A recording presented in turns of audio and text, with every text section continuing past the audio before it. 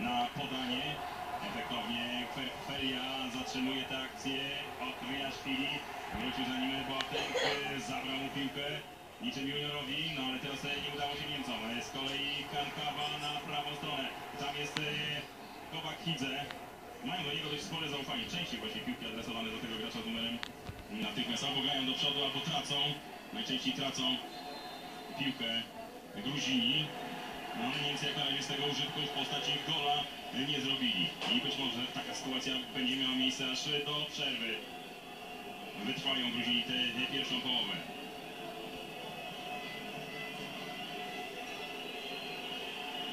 Toni Kroos. Pięknie teraz do Rudego. Rudy do Millera. Jeszcze raz Sebastian Rudy. Schweinsteiger. Ezil. Gece. Miller. Jest uderzenie Krosa zablokowane.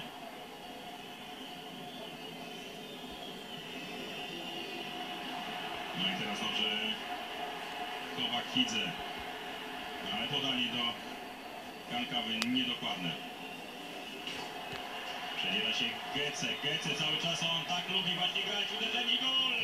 1 do 0 dla reprezentacji Niemiec. Marco Reus. No musiało do tego dojść prędzej czy później. Już e, wydawało się, że, że może dotrwają bez straty gola Gruzini do przerwy, bo to jest 39 minuta, ale zrobił swoje tutaj Mario Gece. On lubi gdzieś tam właśnie taką przepychację Niemiec. No i teraz już e, tę niespodziankę e, Gruzinom będzie bardzo trudno. No ale może teraz zaczną grać piłkę, może tutaj spróbują skontrować, doprowadzić do remisu. A nie zostaną już trzeba powcięte. Myślę, że musieli zakładać, że stracą gola z Niemcami. Jakiś plan B. Kahaber, Szkadadze ma w zanadrzu.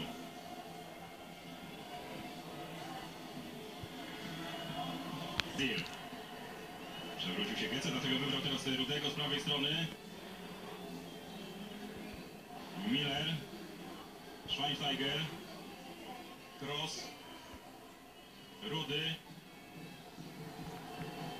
A Rudy. Ta bramka nie ma gola, przewrócił się Gece, nie ma też e, rzutu karnego. Szybciutko wykonany ten stały fragment gry.